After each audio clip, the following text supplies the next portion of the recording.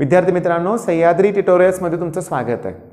आजच्या लेक्चरमध्ये ना मला सोल्युशन अँड कॉलिगेटिव्ह प्रॉपर्टीज ह्याच्यातले इम्पॉर्टंट कन्सेप्ट जे आहेत ना ते घ्यायचे आहेत. किंवा मी आता कसं करतोय?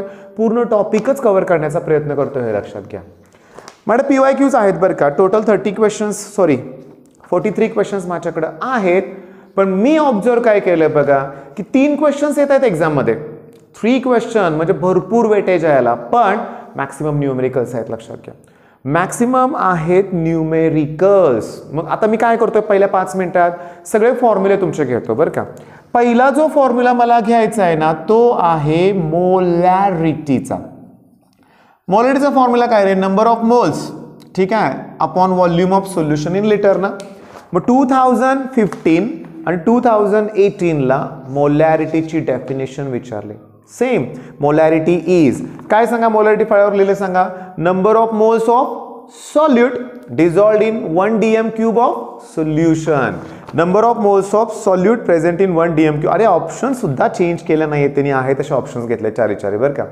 ओके मग काय माहिती का? एक तर फॉर्म्युला विचारला जाईल नाहीतर डेफिनेशन ओके मग मोलॅरिटी तुमच्या लक्षात आलंय. नेक्स्ट फॉर्म्युला जो घ्यायचा आहे मला तो मोलॅलिटीचा परत नंबर ऑफ मोल्स पण mass of solvent in K G number of मोल्सला mass of solvent in K जीनं divide केलं. डब्ल्यू वन म्हणजे सॉल्वंटचा mass in K G okay third मी जो फॉर्म्युला तुम्हाला देणार आहे बरं ह्या सगळ्याच्या न्यूमेरिकल्स एक्झाममध्ये आलेत बरं का. लगेच आपण स्टार्ट पण करणार आहे बरं का.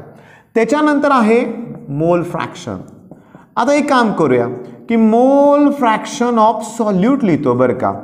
मग मी काय नोटेशन वापरणार आहे? सॉल्यूट म्हणलं तर मी टू हे नोटेशन वापरणार आहे. आता ज्याचं मोल फ्रॅक्शन विचारलं आहे त्याचे मोल्स वरती घ्या आणि डिवायडेड बाय करा total number of moles divided काय करा? टोटल नंबर ऑफ मोल्स आलं लक्षात? मोल फ्रॅक्शन आता मी तुम्हाला सांगू का? आता पर्सेंटेज बाय वेट किंवा पर्सेंटेज बाय मास म्हणूया आपण.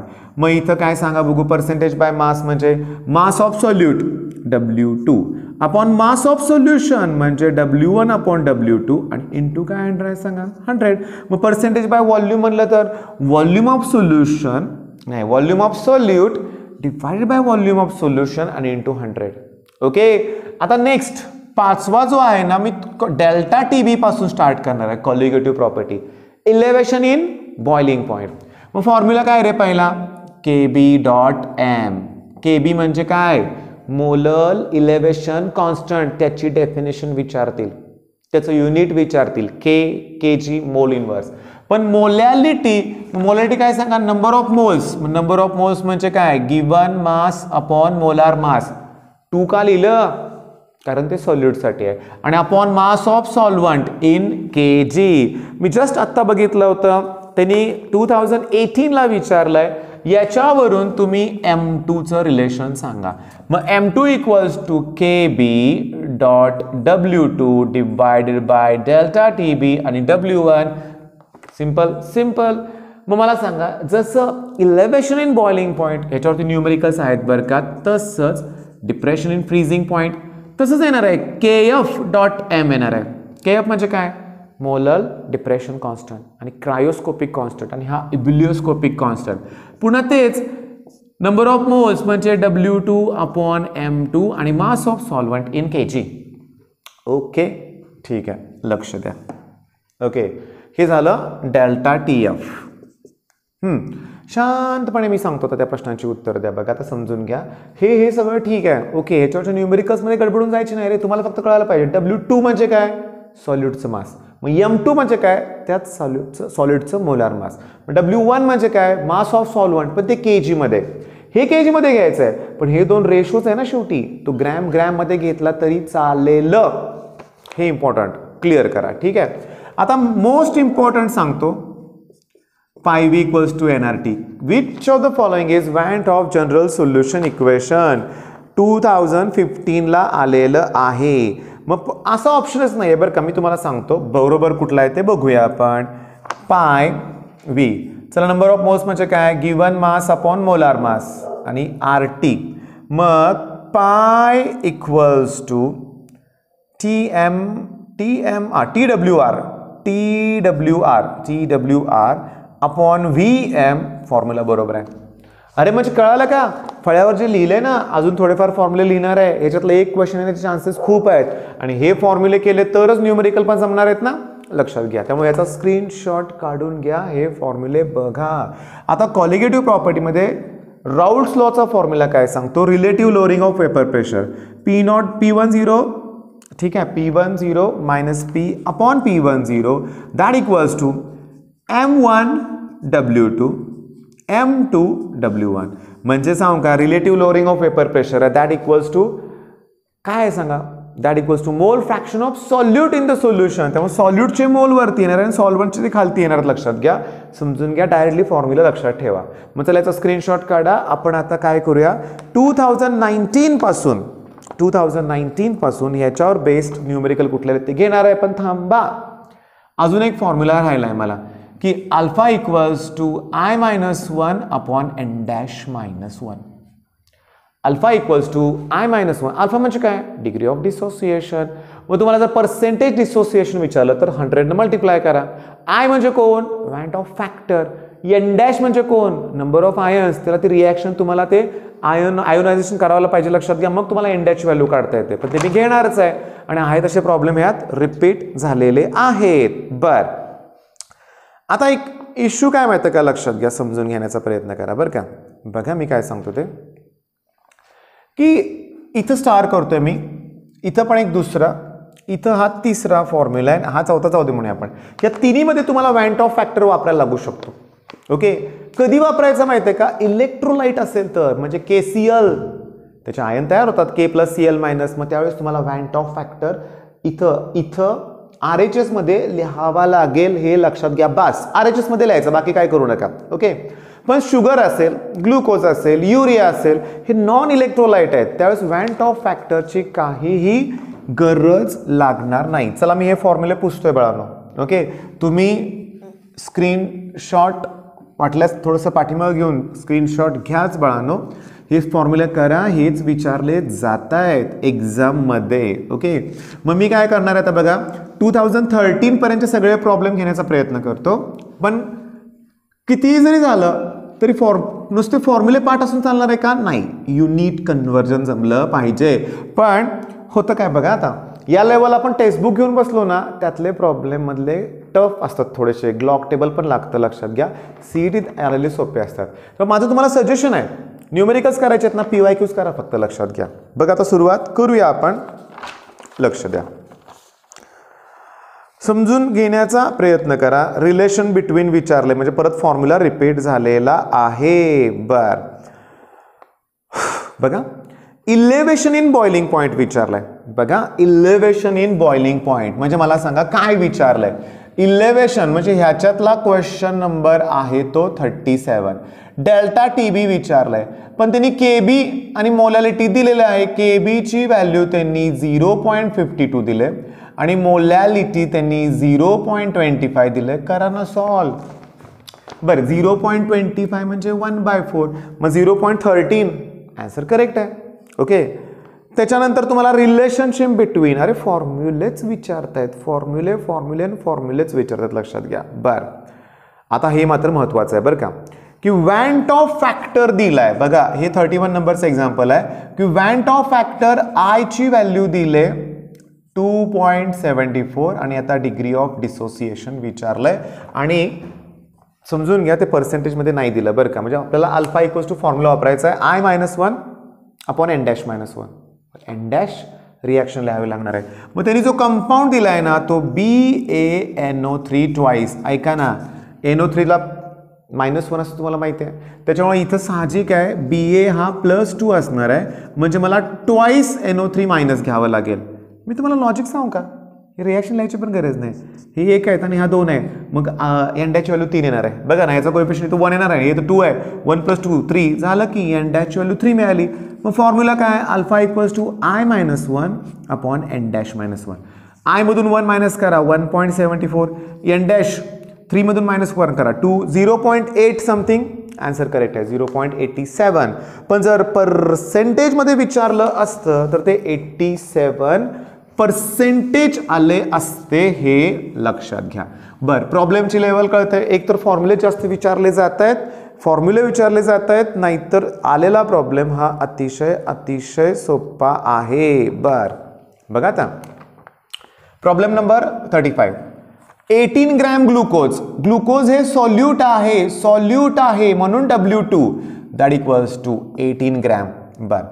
मोलार मास त्याचं molar mass one eighty values बघा सोप्या दिलेत. ओके बघा टेम्परेचर दिले त्याची काही गरज नाही आहे आरची व्हॅल्यू त्यांनी दिले zero point zero eight two one टेम्परेचरची गरज आहे कारण इथं वेगळं विचारलं आहे बरं का समजून घ्या. मी काय सांगतो ते? त्यांनी विचारलं ऑस्मॉटिक प्रेशर मग ऑस्मॉटिक प्रेशरचा फॉर्म्युला काय? की pi V equals to N R T volume त्यांनी दिलेला आहे. हंड्रेड मिली म्हणजे पॉईंट वन लिटर कारण ही व्हॅल्यू लिटर ॲटमॉस्फरिकमध्ये असते बरं का? मग आता बघा पाय व्हॉल्यूम दिलाय point one number of moles म्हणजे काय रे? Given mass upon molar mass eighteen upon one eighty आरची value zero point zero eight two one याची व्हॅल्यू थ्री हंड्रेड पॉईंट वनला पॉईंट वन कॅन्सल होणार. थ्री हंड्रेड आहेत मग point बघा हे दोन झिरो आहेत ना मी पॉईंट इकडे घेतो. एट पॉईंट ट्वेंटी वन करतो into three twenty four twenty four point something काहीतरी आन्सर येईल लक्षात घ्या. ओके आणि आन्सर आता करेक्ट असणारच आहे लक्षात घ्या बघायची गरज नाही आहे ओके सापडला. Twenty four point sixty three दिलाय. आन्सर करेक्ट आहे. बघा ना twenty four point sixty three three वनचं three three टूचं सिक्स आलं का? Twenty four point sixty three मग तुमच्या लक्षात आलेलं आहे. बरं हे फॉर्म्युले बघत असताना माझ्या एक लक्षात आलं की मी वॅन्ट ऑफ फॅक्टरचा अजून एक कन्सेप्ट सांगायचं राहिलं आयसोटोनिक सोल्युशन जर दोन सोल्युशन आयसोटोनिक असतील त्यांचं ऑस्मॉटिक प्रेशर इक्वल असतं. आता तुमचा फॉर्म्युला काय रे बाळांनो? की pi V equals to N R T मग pi equals to N upon V R T म्हणजेच pi equals to C R T मग मी इकडे लिहू का? C one R T C two R T आता टेम्परेचर कॉन्स्टंट आर तर constant आहे कॅन्सर म्हणजे उरलं कोण? C one upon C two C one equals to C two C म्हणजे कॉन्सन्ट्रेशन मग number of moles upon volume ह्याचे number of moles आता व्हॉल्यूम पण इक्वल असेल समजा. तर व्ही पण कॅन्सर मग नंबर ऑफ मोल्स म्हणजे काय? मग given mass upon molar mass एका याचा आणि given mass upon molar mass दुसऱ्याचा मी तुम्हाला सांगू का? आयसोटोनिकमध्ये मॅक्सिमम तुम्हाला हेच असेच हाच फॉर्म्युला वापरावा लागेल. बर. आता समजून घ्या. वँट हॉफ फॅक्टर विचारलाय बघा हॉफ फॅक्टर विचारलाय आता delta T F equals to K F dot M लिहू काय तर आय के सी एल आहे के सी एल म्हणजे क्लोज टू टू येणार आहे क्लोज टू टू येणार आहे आपण दोन ऑप्शन आहेत वन पॉईंट एटी सिक्स बघा वन एटी थ्री किती क्लोज आहेत मग सोडवावं लागेल बरं डेल्टा टी एफ़ त्याचा फ्रीजिंग पॉईंट दिलाय minus zero point six eight zero degree Celsius मग मी डेल्टा टी एफची व्हॅल्यू येतोय zero point six eight zero degree kelvin difference हा सेम असतो. तुम्ही सेल्सिअसमध्ये घ्या नाही तर केल्विनमध्ये घ्या. ओके आता लक्ष द्या मी काय सांगतो ते. मग हा निगेटिव्ह हा पॉझिटिव्ह कसं? अरे डेल्टा टी एफ काढण्यासाठी जो सुरुवातीचा बॉलिंग फ्रीजिंग पॉईंट किती होता पाण्याचा? झिरो त्यातनं हा मायनस केला पाहिजे ना. आणि त्या झिरोमधून ते मायनस करताना हे मायनसचं प्लस होणार ना. बरं. वॅन्ट ऑफ फॅक्टर विचारलेला आहे. K एफची value one point eighty six दिलेली आहे आणि molarity point molality point two आहे. हे डिवाईड करा आणि ॲन्सर शोधा. पण प्रॉब्लेम आहे रे प्रॉब्लेम आहे. पॉईंटच्या पुढं थ्री डिजिट आहेत. इथं दोन आणि इथं थ्री आहे. पॉईंट कॅन्सल म्हणजे six eight zero divided by one eighty six into two that equals to I चला मग आय इक्वल्स टू चला हे थ्रीनं न डिवाय टूनं न डिवाइड करू का? Three forty divided by one eighty six सांगू का तुम्हाला? इतकं क्लोज आहे ना आपल्याला करावंच लागणार आहे. थ्री फोर्टी आणि वन एटी सिक्स किती लेंदी जाणार आहे. वन एटी सिक्स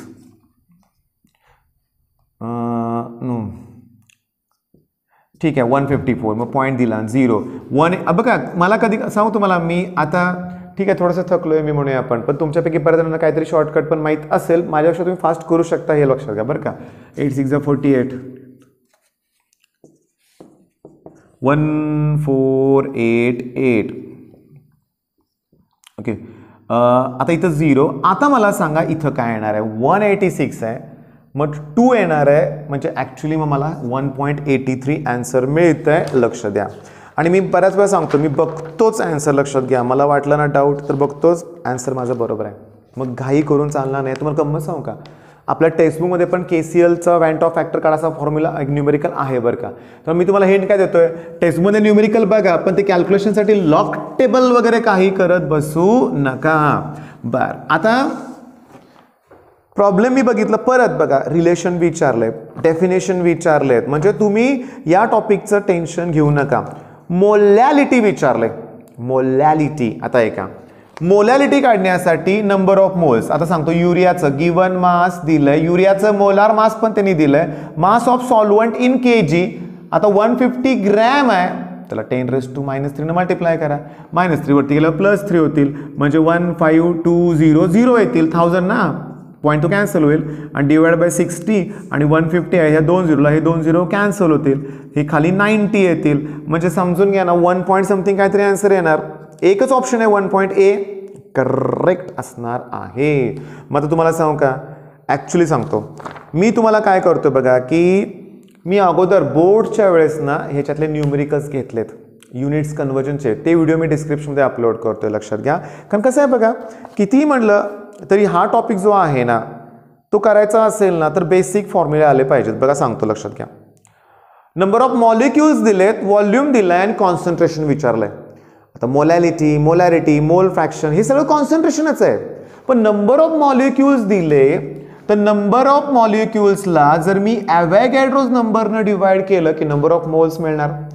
त्यांनी व्हॉल्यूम पण दिलाय मग तुम्ही व्हॉल्यूमनं डिवाइड करा तुम्हाला मोलॅक्युलरिटी मिळणार ना?